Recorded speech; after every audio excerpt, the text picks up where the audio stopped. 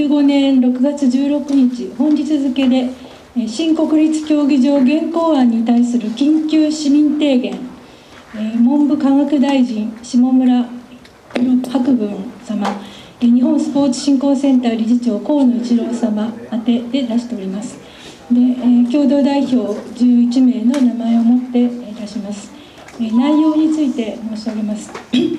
1現行案を諦めること。現行案が持つ5つの致命的なリスク建設費工期技術的困難維持費環境負荷などを回避するためを諦め計画の白紙に戻すこと。2過去の競技場を指針とすること。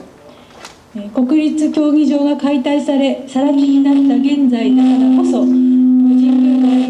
歴史的な意味と環境的な価値を直視して再興すること。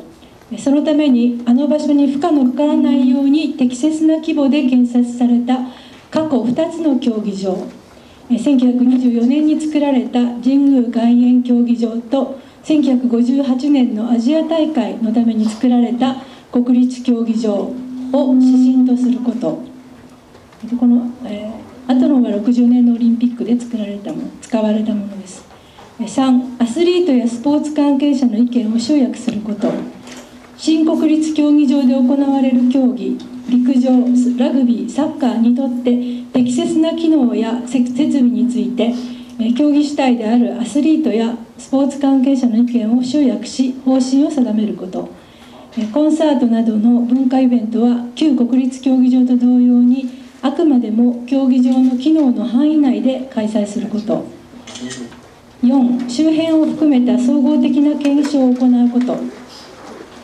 現行案に欠落している環境への負荷。都市防災交通問題自由通路の必要性などの総合的な検証を早急に行うこと。5既存の環境と現在の住民を尊重すること。明治公園や四季の庭などの緑地や公共的な都市公園が果たしてきた意味とこの場所に暮らし続けてきた都営霞ヶ関丘アパートの住民を最大限尊重し居住権を保障すること。6現実の難題を考慮し誰もが納得できる施設にすること。高齢社会人口減少生活を支える基礎インフラの劣化という難題と東日本大震災の被災者の生活再建を考慮し誰もが納得できるアジェンダ2020に沿ったオリンピック施設の在り方を再考すること。7既存施設の活用を検討すること。その一方で新国立競技場の新築にこだわることなく他の場所にある既存のスタジアム横浜浦和調布駒沢などの回収可能の活用の可能性を検討すること。8第三者検証委員会を設置すること。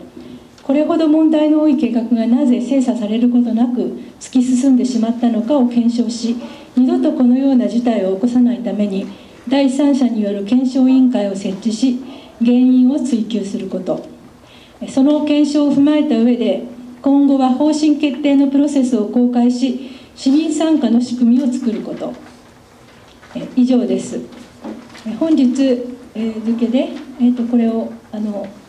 え、文部科学省と日本スポーツ振興センターに、え、お送りいたしました、え、まあ、あと書いてある他のあの資料でございますけれどもあの、まあ、私どもの当会に賛同してくださってる3万6千名の方々、まあ、その中にあの大変いろんなあの専門や指揮者の方がいらっしゃいますので、まあ、そのお名前を挙げさせていただき、えー、そのはじめ3万6千人の賛同人に支えられていますということになっております。